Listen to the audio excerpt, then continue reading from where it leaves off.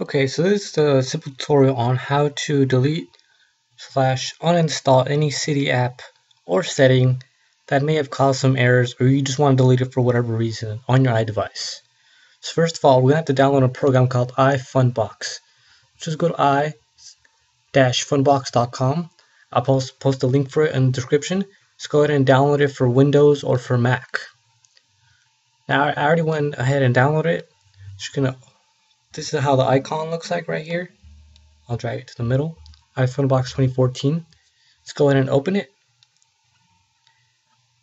And when you're on home, let's go ahead and click on whatever iDevice you have at the bottom. So now it's going to show your apps and stuff. Just scroll down where it says raw file system. Just wait for it to load.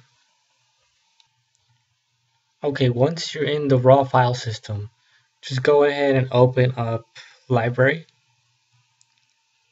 and then mobile substrate, dynamic libraries, and then in your dynamic libraries, it has all the settings that you have installed for whatever app or setting. So what you're going to want to do is that like, let's say for example, fancy is the one messing up my phone. I'm going I'm going to delete both of them. Just go ahead and click on it and click delete. Both the plist and the dylib. Just go ahead and delete them. I'm not going to delete them for the video purpose because they're not matching my phone and I don't really want to go back and install them once again.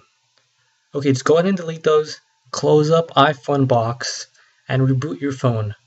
Once you've rebooted your phone, everything should be functional and back to normal. Thanks for watching.